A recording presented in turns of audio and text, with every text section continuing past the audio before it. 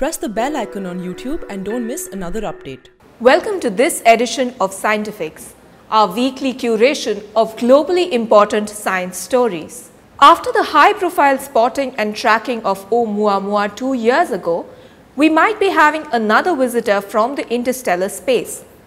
The trajectory of comet GB00234 is so hyperbolic, it seems to indicate that this is yet another comet coming from outside of our solar system.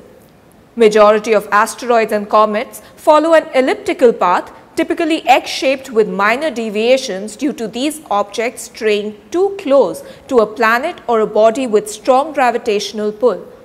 According to the European Space Agency, the comet will pass within 300 million kilometers of the Sun this year. The competition run by Natural History Museum in London announced its finalists for the 55th consecutive year last week. The final winners are expected to be announced in October.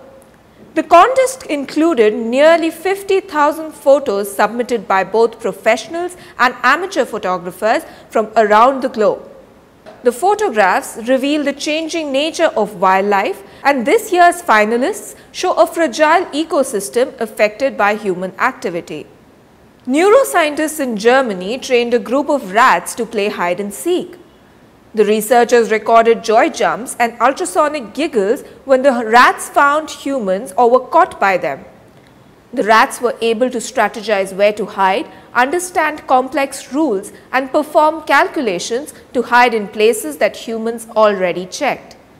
The rats enjoyed the game by itself without having to be motivated by food. According to a new research, the global heating is impacting soil's ability to absorb and store water.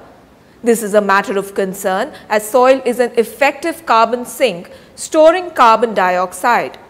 Adverse effects on the system implies more carbon dioxide in the atmosphere and thus increased heating. The study is a result of a field experiment conducted over 25 years. The researchers say that the impact on soil from climate change could have implications for groundwater supplies and food production. This is Mohana Basu for The Print. Please subscribe to our channel and like and share our videos.